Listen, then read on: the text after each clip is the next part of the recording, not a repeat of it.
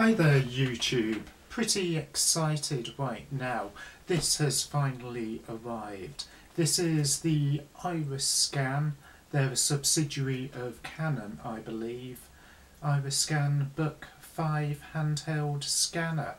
Now this is completely portable, comes with a 4GB SD card which will enable me to scan without a computer. So I could just scan pages of books. It comes with bundled OCR software, that stands for Optical Character Recognition. So let's open the box and see what's included.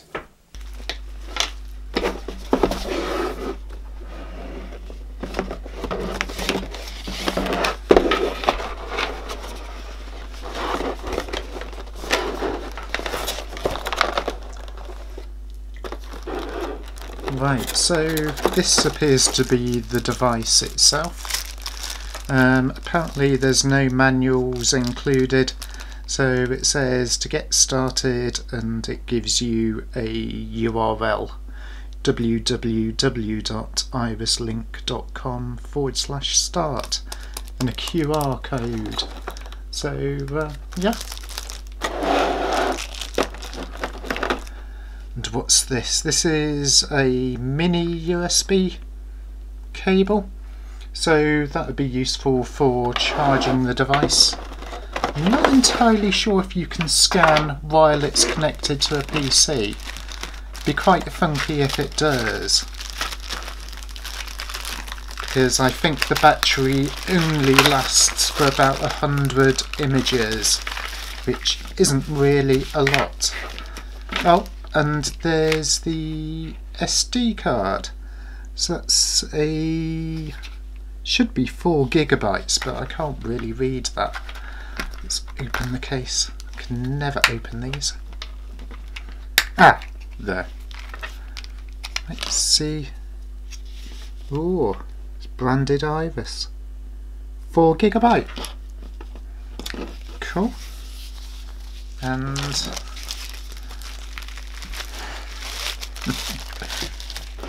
There's a pouch. And is this the normal, oh, software serial? So I suppose you'll need that to activate uh, any OCR.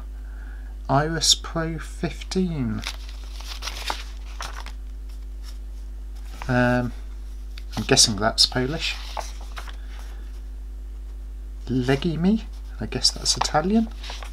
Um, not even going to try that. I'm guessing that's Mandarin though. Right, let's fire up this bad boy and do some scanning. Right, now one criticism of this scanner is that it's difficult to use. It's overly complicated, a lot of reviews say. Um, I don't think it's that bad.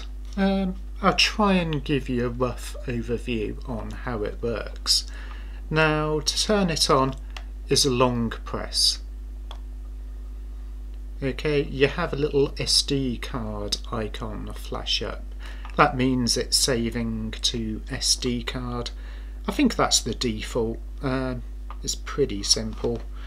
On here you've got an option to save it in different formats JPEG, PDF, and PDF multiple pages. So that's quite simple. I'm going to keep it on PDF. This top button changes the DPI, so that's uh, dots per inch.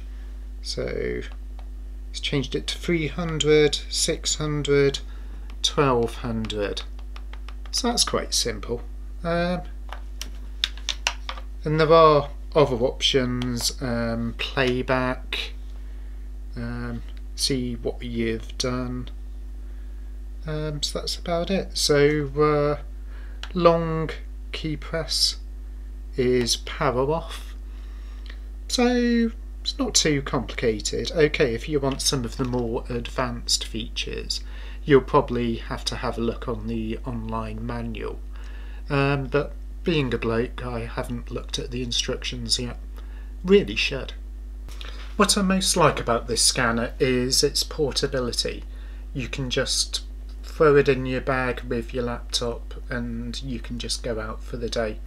Another advantage over a flatbed scanner is it's silent, doesn't have any whirring motors, no flashing bright lights, no clunking backwards and forwards. Being a book scanner, where it really comes into its own is scanning books, like duh. so I'll show you an example here. I've got a very old, nice antique book. Obviously, putting it on a flatbed scanner could damage delicate pages. Don't really want to do that. I quite like books and I think we should look after books, you know, for future generations. So what I'm going to do now is just scan this very nice uh, map of London um, just for the benefit of this video and I'll show you how it turns out. Now I've set this on to PDF if you can see there. It's 1200 dpi so start scanning I just press the middle scan button. As you can see the scan scanning lens, I think that's called, is offset to one side. That's designed so it can fit right in the margin of a book, which is ideal for what we're going to do now. So now that scan uh, icon is there, we can slowly slide it over the page, being very steady and careful. And when we finished, press scan again and now that shows a little preview of what we've just scanned. I think that's a great feature. It means you can see what you've captured. Um, so it doesn't come to a time when you're uploading, say, half a day later and you think, oh, that really didn't scan well, I'll have to do it again. I know that's now captured quite a good uh, image of that plan. Okay, so let's see how that's turned out now. Right, so now we've done all our scanning and I'm feeling pretty scanned out and uh, want to connect this to my PC and uh, just download the images I've taken. So I'll give you a very quick overview how to do that. Now first of all it comes with a micro USB cable so obviously fit that in the mini USB port on the side of the device. Plug it into your computer of choice. And now to make it recognizable as an external drive long press the power button. We now have a USB icon come up. That means lo and behold that chime means that the PC has recognized it as an external USB drive and good I can now see all the scans I've taken so let's have a look and see how that map's turned out. Yes, it's the pretty good quality scan. Yes, that should be uh, usable. That's turned out really good. I'm quite proud of that. So, uh, okay, and now I'm going to show you using screen capture the live scan software that comes bundled with it. So, okay, let's check that out. Now I've connected the device to the PC and I've started the instant result software. This will allow me to scan in real time and whatever I capture will appear on the screen. So let's give this a go let's click the scan button and carefully position the scanner over the page okay and slowly swipe the device over the page now I've selected this to be a colour image you can also select it to be grayscale or an actual text page and then capture using the OCR. Right, that's done now. So if I click the scan again, we can now see what we've got. This is a 1920s representation of the Pool of London from an old book. Um, just quite like the picture and its colour. Nice vivid colours. Cranes, boats. Scary. I guess that's a boy. Let's hope it's not a mine. That could go horribly wrong. Right, so quite happy with that. Now, how do we save this? Oh, we can rotate. Cool, that's rotated. Save image. Mm, duh. Okay, I can save this as, let's say, nice picture of London. Cool. Now I'm quite happy with capturing images using instant result. Now let's give it a go on a page of text or a typical page with text and an image. Scary picture. Reminds me of somebody I know. Let's click scan and hopefully it's good to go. So again, slowly pull it over the text you want to capture, keeping it nice and level.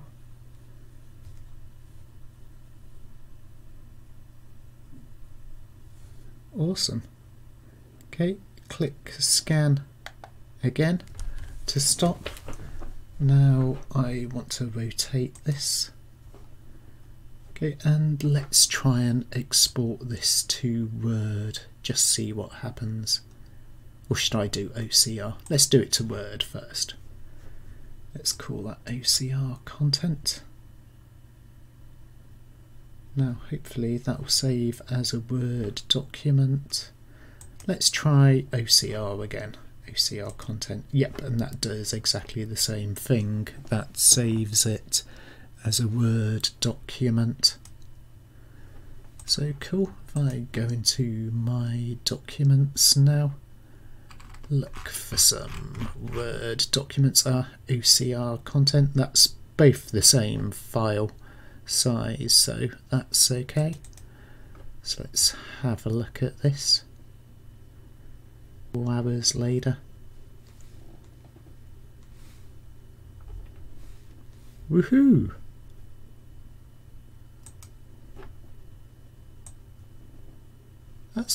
Pretty awesome, isn't it? Look, it's captured the picture as well. I wasn't expecting that at all. Well, awesome. That is amazing. Well, people have got different definitions of amazing, but I'm quite amazed with that. So, uh, yeah, it's all good. Gets two thumbs up from me. And if you're curious to see how that plan of London turned out, here it is now. Yes, really nice quality. This is zoomed in quite a bit, but yeah, very pleased. Uh, just in case of copyright claims, this is Geographia 1923 Limited. So they're 55 Fleet Street, London, if they're still going. So uh, probably not, though. so to quickly sum up, I really like this handheld scanner. Super easy to use, very portable. Um, yeah, one of my favourite gadgets at the moment.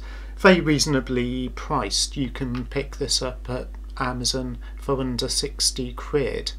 Um, which at the cost of a regular flatbed scanner, seeing you can do a lot more with this is well worth it. Okay, I'll include the link below and as always, thanks for watching. Okay, bye.